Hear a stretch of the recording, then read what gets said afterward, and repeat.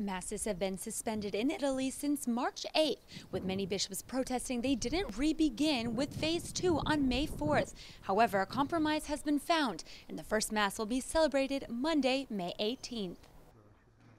After a tug of war between the church and state, Italian bishops signed an agreement with their government to specify how to safely celebrate Mass again. Il protocollo the defined protocol lays out some sanitary measures so we can return to celebrate while respecting everyone's health.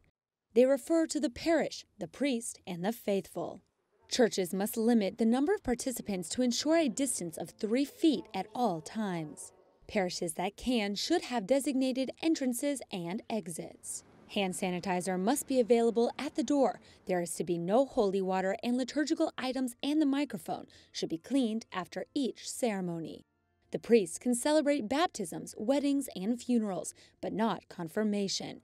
He must give communion with a mask and gloves. There won't be a collection, but donations can be placed in baskets positioned around the church.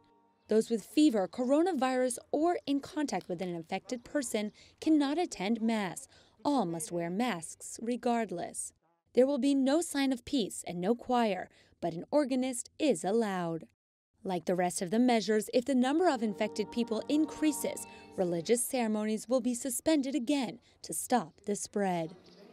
The Vatican has not announced when they will re-begin their public masses, but they will likely follow in Italy's footsteps and re-begin in the month of May.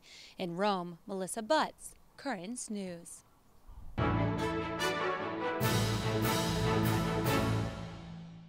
If you're watching Currents News on YouTube, be sure to hit the subscribe button and then click on the bell to get instant updates about all of our newest content because we are putting your faith in the news.